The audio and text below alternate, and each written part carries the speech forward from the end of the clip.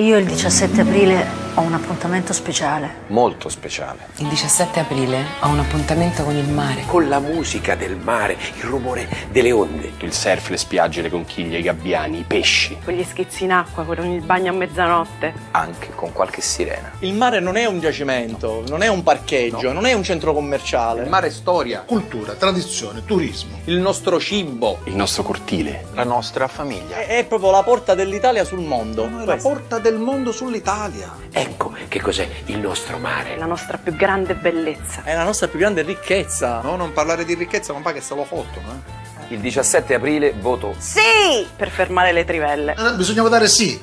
Se non le vuoi. Io ho degli impegni, per esempio il compleanno di mia sorella, però ci vado a votare. E poi me ne vado al mare. Facciamo un cambio di marcia e investiamo sulle energie rinnovabili. Tutta questa fatica per fermare le trivelle, se ce lo chiedevate prima non le facevamo certo. partire proprio le trivelle. Eh, certo. Non affoghiamo il mare. Difendiamolo. Non servono i superpoteri per fermare le trivelle.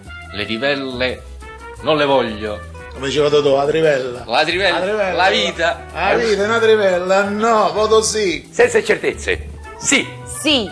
Sì. Sì. Sì. Amone, sì. Sì. Sì. Si è capito? Mettete una mano sul quorum. Il 17 aprile, segna di questa data. Sì, sì, no, mo, mo me lo segno proprio. C'è una cosa. Non vi preoccupate. Lo scrivo. Faccio un tatuaggio, mi faccio. Sì. Un tatuaggio non è troppo. 17 Su un foglietto, ma scrivo 17 aprile voterò sì. sì.